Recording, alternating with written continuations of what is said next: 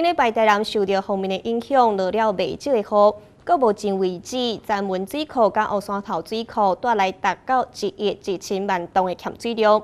不过，因为水的热度上悬，詹文水库也伫今仔日上午十一点开始，伫英古河道放水道来进行少量排沙放水，来延长水库的寿命。受到风面甲西南气流影响，台南地区为五月二十号开始落雨，到现在为詹文水库甲乌山头水库总共带来达到一亿一千万吨的欠水量。毋过水利署南区水资源局副局长表示，后续第二波方面山区落雨量无大，雨势拢落伫平地甲海边啊较济，因此对水库的帮助有限。那上波降雨哈，造成我们增文水库的蓄洪量啊，我们的蓄水量已经。高达一一亿一千万吨，哦，那本波的降雨量其实降雨降雨不大。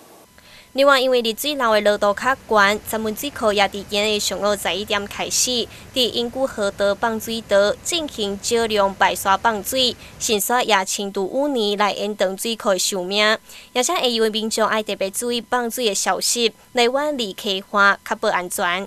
刚好，因为现在目前浓度比较高，啊，我们这个水库就是浓度比较高。所以我在今天早上，啊，十一点我们要进行所谓的我们的排沙作业。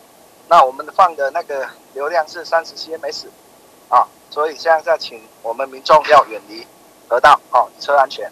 针对第一次方面所带来的雨水量，副局长表示，对水情的帮助相当的大。目前，咱们水库有效的欠水量已经突破一亿万吨，南华水库也超过三千八百万吨，是有效来解决台南欠水的问题。水利署将会密切来观察水情变化。记者肖正伟南西区采访报道。